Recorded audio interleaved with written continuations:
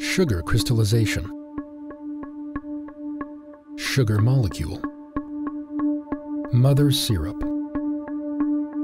Sugar molecules and mother syrup in solution. Sugar molecules start to combine to form crystals. As the crystals grow, some syrup may get mixed in with the sugar molecules. At a certain size, the sugar crystals become visible to the naked eye. The surface of the crystal is washed with water to remove the syrup material. Only traces of syrup material are found in the crystals.